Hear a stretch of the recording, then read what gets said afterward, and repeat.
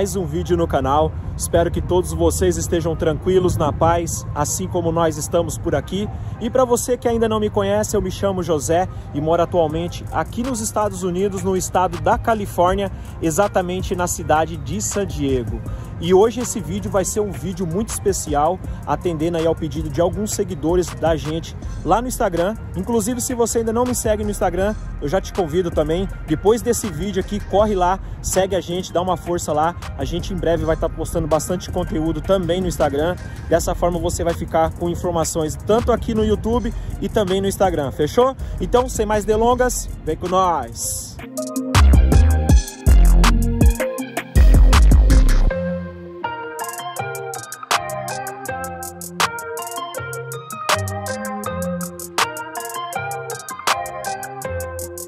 E hoje eu quero compartilhar com vocês as possíveis perguntas feitas na entrevista do visto americano. Provavelmente alguma dessas perguntas serão feitas para vocês. Então preste bem atenção nesse vídeo Anota essas dicas, estuda e treina bastante antes da sua entrevista, beleza? Lembre-se, preencha a sua DS 160 com informações verdadeiras, porque o agente consular fará perguntas baseadas tudo no que você preencheu na sua DS 160. Então, muito cuidado na hora do preenchimento da sua DS 160. Eu aconselho você contratar um profissional para preencher esse documento. Se caso você não tenha um inglês bom para poder entender o que as perguntas são feitas ali naquele documento. E se caso você queira economizar esse dinheiro, você pode também encontrar conteúdos gratuitos aqui no YouTube, beleza? Tenho certeza que vai ter bastante conteúdo que vai ajudar você a preencher a DS 160. Eu, no caso, quando estava no Brasil, eu paguei uma pessoa especializada para preencher a DS 160 e o restante foi tudo através das pesquisas que eu fiz no YouTube. Mas e aí, Zé, quais são as possíveis perguntas feitas na entrevista do visto americano? Muita calma nessa hora que o Zé vai te falar.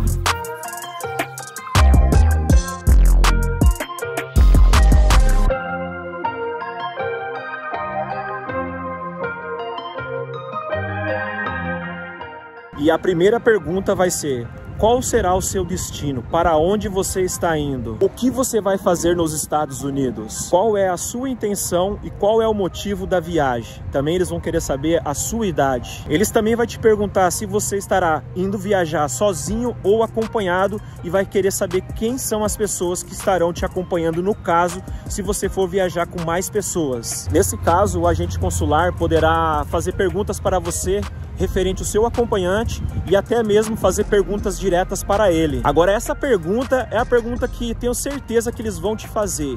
Eles vão te perguntar quanto tempo você pretende estar nos Estados Unidos ou quantos dias e quando você retornará para o Brasil ou seu país de origem. Eles vão querer saber se você trabalha, qual é a sua profissão, qual é a sua renda mensal e nesse caso eles vão querer saber quanto de dinheiro você vai estar tá levando para os Estados Unidos durante essa viagem. E baseado na sua renda mensal, ele já sabe se você é obrigatório pagar ou declarar o imposto de renda no Brasil ou não. Nesse caso, se ele vê que a sua renda ultrapassa o limite que é obrigatório, ele vai te solicitar a declaração de imposto de renda. Se caso ele vê que a sua renda não ultrapassa o permitido, ele nem vai te pedir a declaração de imposto de renda. Lembrando, pessoal, que o agente consular, ele mora no Brasil, ele é um americano, mas ele vive no Brasil e com certeza ele conhece as leis, é, todas as regras aí no, no Brasil. No meu caso, eles não solicitaram a minha declaração de imposto de renda, porque eles viram que meu, a minha renda mensal não ultrapassava o valor permitido, que eu era obrigatório a declarar imposto de renda. Eu tive duas experiências como entrevista no consulado, a primeira como sponsor e a outra como titular do meu visto. Nenhuma das duas eles solicitaram a minha declaração de imposto de renda. Pode ser que eles pedem para você mesmo, você não sendo obrigatório para fazer a declaração de imposto de renda. O ideal é você ter toda a documentação ali separada, caso ele solicite qualquer documento, você já tenha ali em mãos para facilitar e não complicar a vida. Eles também vão te perguntar se você será responsável pelos gastos da viagem e pela permanência sua no país, ou se você terá um sponsor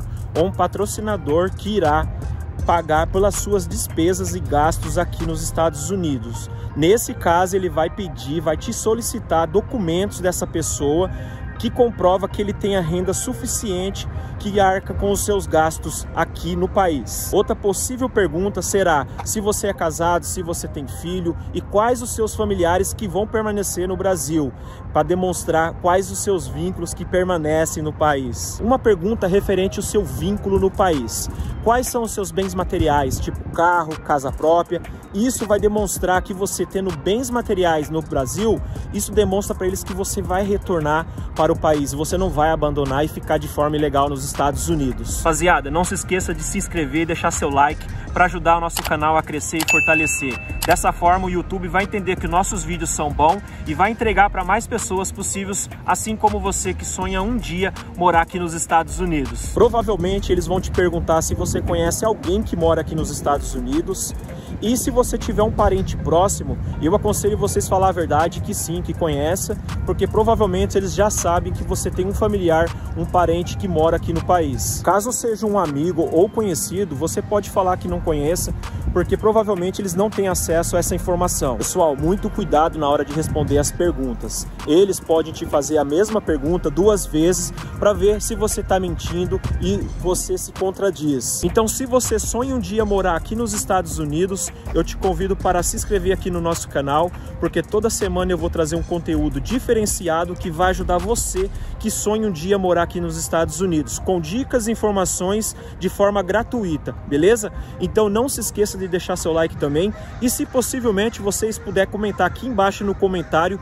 comenta aí quando vai ser a sua entrevista, ou quando você chega aqui na terra do tio Sam, ou até mesmo você que já fez uma entrevista, está morando aqui e quer passar a sua experiência que possa ajudar as outras pessoas que ainda vai fazer a entrevista e tenho certeza aí que dá aquele friozinho na barriga. Eu também já tive aí do outro lado, já participei de duas entrevistas no consulado, sei muito bem como é que é. Mas galera, muito obrigado pela atenção de todos vocês. Fica com Deus, um forte abraço e até a próxima. Valeu!